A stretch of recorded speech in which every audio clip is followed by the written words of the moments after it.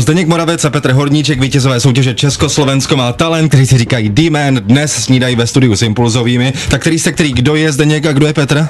Tak já jsem Zdeněk, já jsem ten menší, jak můžete vidět. Zdeněk je ten menší. Bílé košily. Ano, a já jsem Petr, ten vyšší a starší. Petr je vyšší a starší, svetru. takže Zdeněk, Petr, Zdeněk, Petr, Zdeněk, Petr. Nikdy si to na poprvé nepo... Všimli jste si, když se lidi představují, že si nikdy nepamatují na poprvé ty jména? Ano, to ano. vždycky? Taky Jo? mám ten problém. Taky Takže, stává, přesně okay, tak. Zdeněk, Petr, Zdeněk, Petr, Jitka, Hele, černý Honza. Petr, to si budu pamatovat, černý svetr, jo, a bílá košile Ok, Zdeněk. tak ještě jednou. Zdeněk, Petr, Jitka, Honza. Dobrý. Už to máme. Pořádku. Kluci, já mám uh, pár otázek na vás. Krátké odpovědi, jednoslovné klidně, jo, aby jsme to odstartovali. Takže, jak dlouho musíte uh, trénovat? Společně, třeba každý den, týdně. Každý den trénujeme, ano. 4 hodiny, No. 3-4 hodiny denně. Je pro vás vítězství v CS Talentu největší životní vítězství? Uh, teď jo, v současné době určitě. Ano, je to, je to velký úspěch. E, jaké to je, když se vás teď všichni ptají na různé otázky, kladou vám je a podobně, ten zájem médií? Je, těch je, že? Ano, tak člověka to potěší na jednu stranu, na druhou stranu to zabere hrozně času. Co si myslíte o novinářích? Zatím dobrý věci. Zatím. OK. Je v Brně nuda? Určitě ne. Tam to žije, tam je Sokol. Zvedlo vám vítězství sebevědomí? Hm, myslím si, že ne. Zatím jsme na tom stejně tenhle Máte týden. ho dostatečně vysoké, v pořádku. Uh, kolik řečí umíte? Uh, já tři, Já, když beru ruštinu teda. já asi jednu. Takže Zdeněk jednu, Petr tři. Ne, umí taky anglicky, určitě. A slovenský umíš taky, takže čtyři. No, Fajn. Uh, máte fotky svých holek v peněžence nebo aspoň na ploče, ploše počítače? Určitě by se tam nějaký našli. Jaký bude víkend? Krásný. Super, tak to jsou Zdeněk a Petr, naši dnešní hosté. Znáte je jako D-Man a znáte je z toho úžasného akrobatického vystoupení v soutěži Československo má talent. Dímen, potkali se asi před čtyřmi roky v Sokole v Brně. Zdeněk dělal sportovní gymnastiku, Petr se zajímal o čínské bojové umění. Společně začali trénovat silovou akrobací a s jedním vystoupením porazili, prorazili do finále soutěže Československo má talent. No a dnes jsou bohatší o 2,5 milionu a chystají se do Las Vegas. Kluci, už balíte kufry? My máme permanentně zbaleno, takže Takže jste připravení. Přesně tak. No, je vidět, že štěstí přeje opravdu připravením. Co si sebou do Las Vegas vezmete a jak tam bude vypadat vaše angažmá? Už to víte? ty jo, věci na cvičení určitě berem, že Ano, jo. magnézium, aby nám neklouzaly ruce. Stálky, aby jsme měli na čem cvičit. Krem na opalování, jestli tam bude. Šalinkartu. Nešalin kartu určitě. Co ještě? Nějaký talisman třeba nebo něco máte sebou? Počítač určitě berem. Hmm, to je velký Potřeba tak. na komunikaci. Talisman, já mám možná jeden, Peťa, to je takový můj talisman, že jo, to já bych Jaký? bez ninoty. Takže vzájemně jste si talismanem. Mhm. Došlo vám, že jste teď vzorem pro spoustu mladých lidí, protože váš příběh je úplně obyčejný a potkali jste se, zamakali na sobě, vyhráli. Kdo byl ten, koho to vlastně napadlo přihlásit se do soutěže? Ani jeden. To byl Aleš, no, No, byl náš kamarád kamarád. Aleš Procházka, moc za náma přišel a říká, chlapi, bude soutěž. Já jsem to četl na internetu, Jo, to bude jo. velká bomba. A my říkáme, se zbláznit, tam nepůjdem. No a, a pak prostě za měsíc, dva se nám to nějak rozleželo v hlavě, že bychom to teda mohli jako zkusit, jo, protože vlastně my jsme do té doby nenašli nikoho, kdo by dělal něco podobného jako my, no, tak jsme si říkali, no tak vyzkoušíme teda, nám to nedalo, no. Takže nakonec Takže nakonec takhle. Dobrá volba. E, rozumím tomu dobře, že jste vlastně kamarádi už čtyři roky. Klape vám to? No možná pět tady. Hmm. No, se známe docela dlouho, no tak jo, ne, Jak je, často Máme. hodně spolu trávíte času? Shody. Poslední tři měsíce skoro každý den bych řekl. Skoro furt, já jsem tady u Petě spával, když jsme trénovali v Praze. v Praze, přesně tak, no takže jsme se viděli těch 10 hodin denně, no. Hmm, a nelezete se náhodou na nervy? Ne, ne, ne. No tak občas možná trošku. Jo? jako, no třeba Peťa, když se neudělá snídaní, tak jsou pak naštvaný.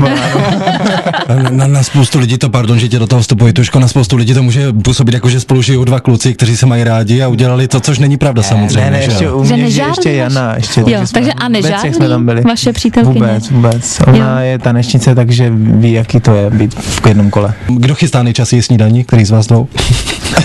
ono je to tak, že si každý chystá sám. Ano. A co snídáte vlastně vy, takový hubení borci? Teď, teď, než jsem měl do rádia, tak jsem měl uh, rýži, Mhm. ale takovou tu sladkou s tou marmeládou. Jasně, teď no. je to takový Mm. Hodně energie. Ano, Mm. no, jsem si vzpomněl, když za komunistů to dělávali, tak teď si to kupuju. Mm. Já Jasně. teda normálně jako svačinku, rohlík, nějaký sír, salám a to. Mm. Úplně v klidu, jako No, přesně žádná tak. křeč, tak je to No ale měl by držet dietu, nevím, myslím, že se mu podívám ráno, zítra na tu snídaní. pořádku. Dobré ráno, přejí Honza Jitka, vaši impulzovi, milionoví impulzovi a taky dva kluci, kteří s náma jsou dneska ve studiu, teď si pochutnávají na koblihách a moc jim chutnají. Toška se hlásí o slovo? Ano, ty mají peněz ještě víc než my. My máme jenom My máme milion, milion, na 17 oni mají oni mají dva a půl. Dva a půl, pravdu, no. Hmm, si můžou založit rádio, tak konkurenci. Jmenují se Zdeněk Moravec a Petr Horníček, jsou to vítězové soutěže Československo má talent. Kluci, mm, já se chci zeptat na jednu věc. Měli jste mm, možnost si přičichnout k českému showbiznisu. Vaše první dojmy? Žádný Tak nám se to líbilo, pro mě to třeba byla veliká zkušenost. Já nevím, jak říkáte, přičichnout, přičichnout k showbiznisu. Mluví Zdeněk?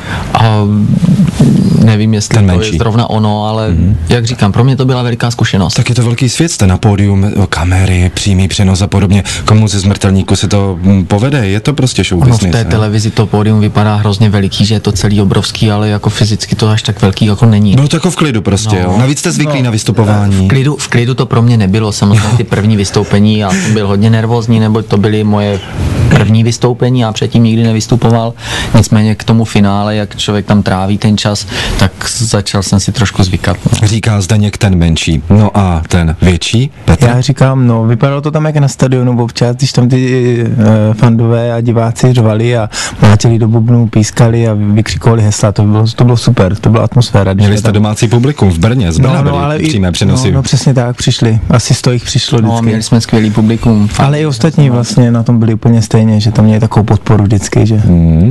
Uh, t- neláká vás herectví?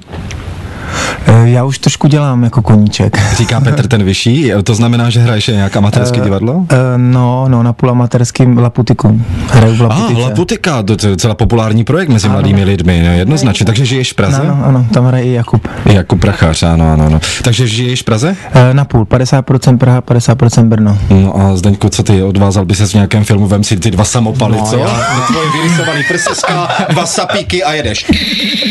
Hasta la vista, A já mu, a já mu sekunduju teda. Přesně, přesně. to je asi tak jediný, co bych tam mohl dělat, ale nějaký větší hraní si myslím určitě ne, na to jsou hodně tuhej. Dobře, takže jednoznačně si myslím, že Petr Horníček bude jednou slavný český herec. eh, Budeme číst titulky. Hráli v českém znění, ne, ne, ne, ne. Hráli Petr Horníček, žádný dubbing. to ne, to nepůjde. Dobře, ok, teď nám vysvětlete. Co to vlastně je silová akrobacie? Má svoje závody, můžete s ní třeba na olympiádu. Tak silová akrobacie eh, je už spíš takový divadelní téma, jinak mm. v, ve sportovním podání se to jmenuje akrobatická gymnastika, což my neděláme teda. Neděláte, to prostě bylo jenom tak, že jste se domluvili, udělali si takové vystoupení v tomhle stylu a není to nic, v čem byste. My Prostě... jsme se potkali v tělocvičně a, a nějak jsme oba řekli, že si zkusíme nějaké věci, co se nám líbily, tady z té silové akrobacie a Já jsem to ze začátku trošku tlačil k tomu, aby jsme jako zkoušeli závodit, zkoušeli s tím jít na nějaký závody nebo trénovali tady tu sportovnější formu. Peťa tím, že má blíž k tomu divadlu, no tak se to nějak, nějak se to udělalo s tím, že jsme spíš začali dělat tady ty, jako kdyby to vystoupení nebo něco v tom smyslu, protože tam jsou jako kdyby pravidla, že ta sestava musí obsahovat dynamické prvky, statické prvky, prostě jsou tam nějaké předepsané věci, což my jsme jako kdyby nesplnili tím, co my jsme předvedli. To znamená, že inspiraci jste brali někde třeba, já nevím, já vím, že hodně, na YouTube, dobře, ale hodně jako je ruských talentů, že jo? Ano, Protože v Rusku to prostě frčí. ale Přesně. u nás Rusko, jako Čína. první bylo Circus de Soleil, úplně jako první takový mm. impuls. Takže, no vidíš, Což to je impuls. obrovská show. ano, to je obrovská show na to, když se podíváte, tak to vás trhne prostě ty videa, oni to mají krásně udělaný kostýmy a celý tady to okolo, takže Takže to nás inspirace na YouTube. Hodně. Kluci, moc se vám to povedlo, to vystoupení, opravdu. Já jsem Děkujeme. z toho Děkujeme. desítky různých zpráv, tak jsem, sedím u počítače, jsem teda nekoukal, jenom tak jsem odbíhal od televize, vždycky mě zajímalo, kdo tam vystupuje. A jenom dostanu SMSky různě a tak dál. Viděl jsi to, viděl jsi to, viděl jsi to. A já proboha, co? No tak jsem zaběhl té hlavu. televizi, viděl jsem vás, pak jsem se vás pouštěl samozřejmě ze záznamu, takže to bylo až dojemné. Říkali vám to lidi? A hodně lidí to říkalo, To hodně byl- lidí no. to říkalo, že to bylo takový jako na city, což je asi to, o co jsme se snažili. To byl přesně náš záměr, no. No, Tak jsem Lucka vám- Bílá se tam prý rozbrečela.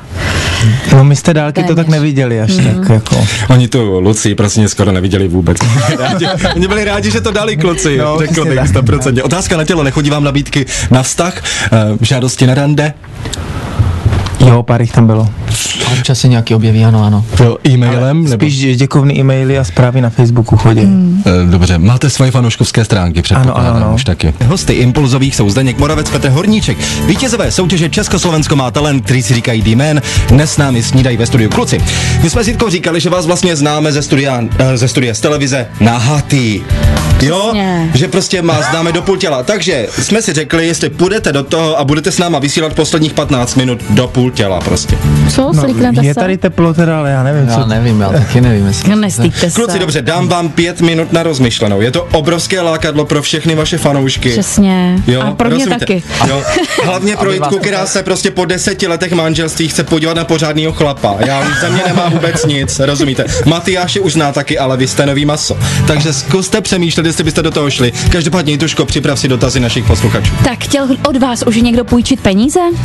Ne, Ještě ne? Co znamená D-Man? vůbec Nic, nic. to neznamená. My jsme vymysleli název, který dobře zní, dobře se píše, vlastně dobře vypadá. Takže prostě jenom tak, jako jste si No. to dali na papír. My jsme nadali na papír asi 30 různých jmen, co se nám líbilo, já nevím, třeba Human a takovýhle názvy a, a nechtěli jsme, aby jsme se jmenovali třeba Duo Acrobatics nebo, nebo Alexis Brother, ale prostě jsme hledali nějaký jiný Šikovný název. Ano, a povedlo se. Ivan se ptá, o jaké z čínských bojových umění se jeden z kluků zajímá. Myslím, že to byl z... Já Petr. vyšší. Petr Vyšší. Eh, Zajímá se o Wushu, nebo už já jsem eh, 16 let Jak? cvičil. za- Wushu? Wushu, Wushu. Čínské bojové umění. Mhm. A dělal jsem asi 16 let a dělal jsem ho na závodní úrovni, byl jsem eh, v reprezentaci. Hmm. A ještě Hanka z Mostu se ptá, jste strašně skvělý, teda říká. V Las Vegas uh, asi budete uh, šílet, až u, vás uvidí prostě vaše vystoupení přesně. Hodně vám fandí a drží palce, takže to byla spíš jenom Podpůrná taková SMS. podpůrná a děkovná SMS. No tak já doufám, že jste na děkujeme. Las Vegas připravení, že už máte něco připraveného. Nebo teprve to je. Trénujou, Ne, ještě jsme nepřipravovali nic. Kdy odlétáte? Tam, a to taky nevíme. To vůbec, zatím- takže odletíte to vůbec? bude někdy, Jo. Odletíme, už doufám. Odsaď že studia. A, a už máte ty prachy na kontě? Eh, Ne, my jsme ne. totiž chtěli, aby nám to dali do šesti kufrů eh, mince. mincích, aby se nám to hezky házelo do těch automatů. A nakonec odletí kluci do Las Vegas u Harachova. Ne, my odletíme se- ze 6 až 8 kufry a přiletíme z... Prázdnou. Dobře. Dámy a páni, stalo se to, co jsme předpokládali. D-Man se svlékli ve studiu Impulzových. Prosím, potlesk všech přítomných ve studiu protože taková těla jsme opravdu dlouho neviděli. To, co jste viděli v televizi, ještě není to, co my s Jitkou vidíme naživo. Máte-li přístup na www.impuls.cz přes webovou kameru, se můžete podívat přímo do studia. Vy, kteří nemáte ten přístup, natáčíme to na naši studiovou kameru, všechno to bude na www.impuls.cz. Přesně takhle jsme vás kluci poznali z vašeho vystoupení. Předpokládám, že tady budou i nějaká akrobatická čísla ano, ještě. ano, budou. Já teď zatínám pravý bicák. Ano. Pěkný, opravdu musím říct, že já nemám slov a ještě tady mám obravit jeden vstup, takže kluci, pojďme na to. takže, jak strávíte Vánoce? Tréninkem nebo někde v Karibiku s přítelkyněmi? Hmm, asi tréninkem. Já na horách teda bych chtěl, jsem to asi Zdendovi ještě neřekl. No, Peťa na hory nepojede, on to ještě neví. Já, Pozor, já první hrozně, hádka. Já se hrozně těším eh, totiž na ty Doma ro- budeš. rohlíčky. Na, na rohlíčky pěkně, eh, na bosí hnízda, to už se úplně těším, jak se budu spát a nebudu nic dělat. Hmm. eh, Cestování láká vás? Tady jsem. tady, protože já vám to řeknu už se tak, sem přišlo že- podívat celé už rádio přes si- sklo, samozřejmě. už tady za, za, za, samozřejmě za dveřmi stojí, dívají se na pořádné muže, takže pánové, tady jsem a znovu pokládám otázku cestování. Láká vás? Já za mě můžu říct, jako že láká, že už se několik let chystám, že vyrazím někam trošku dál, ale už asi říkám, čtyři roky se chystám, ale ještě nikdy na to nebyl čas. No, Hm, takže Já tak- teď bude. no to si myslím, že nebude, ale doufám, že bude, doufám, že bude. Já strašně rád cestuju. Já jsem hodně cestoval do, do Číny a do Asie, takže Takže těším teď na se. druhou stranu. Las. La- Las Vegas vás teda ur, určitě láká. Jo. Uh, s kým byste se v životě chtěli setkat? Ty jo. Uh, Robert De Niro. Teď mě napadl jako první třeba. Nějaký zpěvák? Robert De Niro je starý herec. Kolik ti je let, člověče? Aha, 26? No, ty jsi mladý člověk, ještě Robert De Niro, má mě by Pusy se mohl líbit. kasíno. Pusy kasíno, přesně. To, to je téma, přímo To je kam- téma. Přesně, to je přímo téma na Las Vegas, prosím tě, to do, Tak já, dodladíte. já, to zkouknu, já to zkouknu. abych Fajn, a s kým by se chtěl potkat ty? Já nevím. Zdeněk, ten menší. Nevím. S náma už jsi se potkal, to bylo tvoje přání, No. to ne? Určitě by někdo byl, ale teď Hmm. mě nikdo nenapadá. Zrovna. No, S náma jsi se chtěl potkat, to se ti splnilo, takže konec. Dobrý. A ještě, čím se vlastně živíte? Zdenek. Ten menší. Tak, já dělám servisního inženýra, vystudoval jsem matematiku, no, takže matematik jsem. A Petr? Já jsem vystudoval Technickou univerzitu, fakultu textilní a dělám v textilu. Vyt- Vytvořil jsem oděvní značku pro tanečníky, takže tím se teď bavím. Šikovní kluci. Setkali jste se už se závistí? Hm, já můžu říct, že ještě ne. Zatím jsem převlečenou závis nepotkal. OK, Jitko, a ještě se chtěla zeptat ještě zásadní věc, jestli někdo žádal o půjčku, kluky už. Ano, ne? to jsme se ptali a to Jo? zatím ještě neproběhlo, protože oni ještě ty peníze vlastně fyzicky u sebe nemají. A Jo. dostanete je teda vůbec? Jako máte nějaký termín, kdy ty peníze dostanete? Um, mlčí všichni.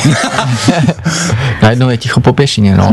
Když tady byl například Petr Horáček, tak nám regulérně říkal, že dostává denně několik desítek dopisů o půjčky a tak dále. Tuším, že Lucie Ano. Bílá, že jo, říkal každý, každý, Každý. člověk slavný, no. tak se na to tak se na připravte. to připravte přesně. A teď, teď byste nám tady mohli zacvičit, zatímco si pustíme nějakou muziku. Třeba My, jistě. my to zatím natočíme na kameru. Tak jo, kluci, posloucháte Impulzovi s námi ve studiu D-Man, dvě minuty po tři čtvrtě na devět.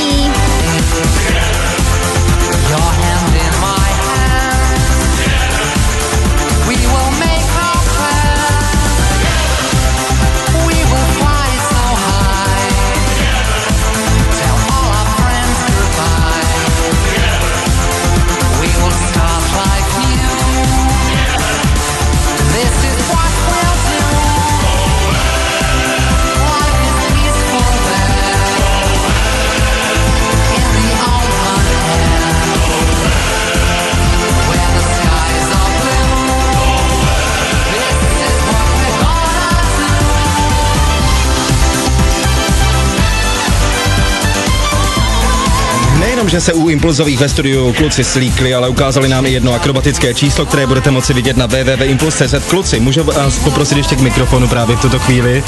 ano, tady. Moc děkujeme za to, že jste navštívili Impulzovi. Byla to vlastně vaše první eh, česká rozhlasová premiéra, nikde jinde v České republice jste v rádiu nebyli, takže jsme rádi, že jsme byli dřív než ostatní. Eh, Ať se vám daří, ať se vám daří ve vaší kariéře v Las Vegas, ať máte hezké životy, pozdravujte doma, pozdravujte v Brně. Dozvěděli jsme se, že v Brně není nuda, což je úplný základ, že jo, a tak dál. No a doufám, že se zase uvidíme třeba po roce nebo po dvou a přijdete k nám na návštěvu. Díky moc. Děkujeme Děkujem. moc a kluci, já teda speciálně bych chtěla poděkovat za to, že jste se mi tady opravdu svlékli, vaše těle jsou opravdu božská a mám co teda, mám o čem teda přemýšlet, takhle jsem chtěla říct, budu jenom přemýšlet. Že by si udělala stejný tělo, jo? By se ale se musela zbavit těch přídavných nádržích, miláčku, co máš vepředu, víš? Krásné a příjemné ráno. Kluci, mějte se hezky naslyšenou. Díky, ahoj. A vy Ještě jednou děkuji. Nezapomeňte, že Honza a Jitka vysílají 80 tisíc v Halo tady Impulzovi v pondělí ráno a za 14 dnů hrajeme o 1 milion korun.